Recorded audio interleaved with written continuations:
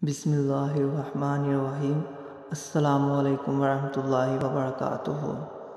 The power of Astaghfar.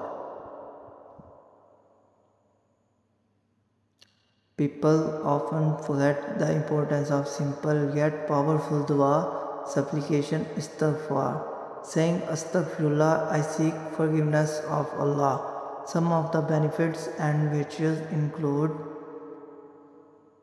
Istighfar remove anxiety.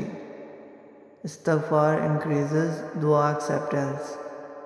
Istighfar opens the door of sustenance.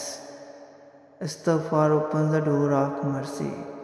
Istighfar opens the door of knowledge.